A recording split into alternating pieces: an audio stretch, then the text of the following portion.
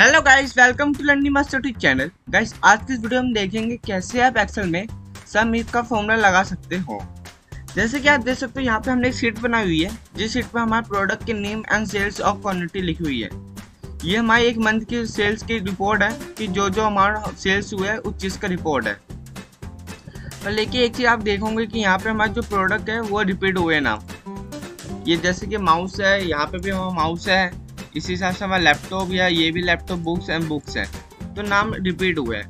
अब हमें सम करना हो तो हम जनरली हम क्या करते हैं? यहाँ पे जाते हैं। इक्वल टू का साइन लगाते हैं। सम लिखते हैं। ब्रैकेट ओपन देन यहाँ से हम पूरी टेबल यहाँ से अपना सेल सेलेक्ट कर लेते हैं।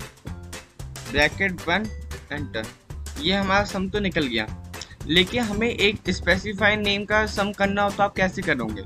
एग्ज़ाम्पल के लिए, जैसे हमें सिर्फ़ माउस का सम करना है कि टोटल माउस हमारा कितना सेल्स हुआ क्वान्टिटी तो उस केस में क्या करें, हम सम इफ़ का फॉर्मूला यूज़ करेंगे। तो इस फॉर्मूले का यूज़ कैसे करना है, किस तरह से करना है, आज की वीडियो में जानेंगे। तो वीडियो स्टार्ट करने से पहले आप हमारे चैनल पर नया चैनल सब्सक्राइब कर दे बेल आइकन दबाना ना भूलें। क्योंकि इसीलिए कंटेंट आपके लिए लाते रहते हैं। सो आइए वीडियो स्टार्ट करते हैं।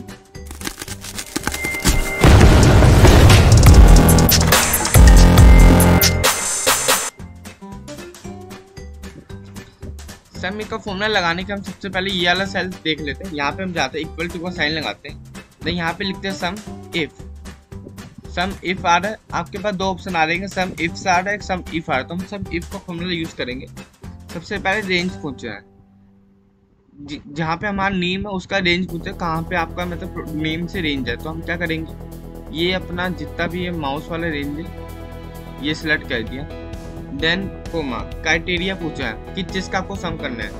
तो हम क्या करेंगे? यहाँ पे एपिस्टोपी का साइन लगा के माउस लिख देते हैं। एपिस्टोप लगा के comma then sum range range पूछा जिसे हमें सम करना है। तो हमारा सम रेंज तो ये रहा, क्योंकि हमें इसी को तो सम करना है। तो हमने ऐसे किया। ब्रैकेट बन एंटर अब आप देख सकते हो 112 निकला क्यों? देखते हैं। माउस का हमने से हम क्या था? तो 87 एक ये हो गया। एंड देन यहाँ पे हमारा माउस का है ये रहा।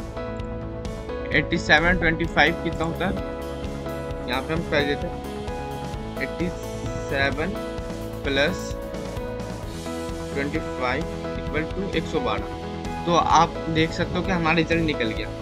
इसी तरह से आप इसमें अपना डाटा वैलिडेशन भी यूज़ कर सकते हो। इसके लिए करना क्या आपको? सबसे पहले हम एक पहले नाम पहचानने के लिए पहले नाम लिख देते हैं, जैसे हम प्रोडक्ट नेम लिख दिए, ठीक है? यहाँ पे हमने प्रोडक्ट नेम लिख दिया एंड देन टोटल सेल्स कि जिससे कि हमें याद है कि हम यहाँ पे क्या चीज़ का यूज़ करते हैं। अब हम क्या करते हैं, सबसे पहले यहाँ पे दोबारा समी को फॉर्मूला लगाते हैं। समी लिखा रेंज रेंज में आपको नेम वाले रेंज सेलेक्ट करना है। ये पूरा हमने रेंज सेलेक्ट कर दिया। ठीक है? देन यहाँ से हम कोमा देन इसके बाद क्राइटेरिया क्राइटेरिया में हमने इसके लास्ट वाले में हमने माउस लिखा था एपिस्टोपी साइन लगा के। इस बार हम ये सेल सेलेक्ट करते हैं, ये वाला। देन यहाँ से कोमा देन सम रेंज हम यहाँ से सम रेंज दे देते हमने ये दे दिया।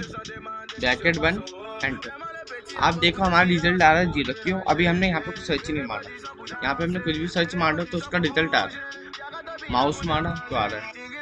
इसी तरह से लैपटॉप मारते आ रहा तो इस हम बार बार नाम लिखने की जगह यहाँ पे हम डाटा वैलिडेशन यूज़ कर लेते हैं, सबसे बढ़िया। जिसके लिए हम क्या करेंगे ये वाला साइज़ सेलेक्ट करेंगे।